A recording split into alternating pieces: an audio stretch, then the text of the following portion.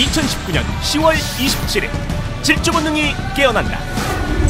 제1회 광주 MBC 무등산권 주요 마라톤 대회 10월 27일 기다려줘요. 달리고 싶어요. 우리 함께 달리고 도전하는데 의미가 있습니다. 화이팅! 지금 도전하세요. 주요 마라톤 대회의 주인공은 바로 여러분입니다. 이 대회는 메디컬 그룹 청년 한방병원과 함께합니다.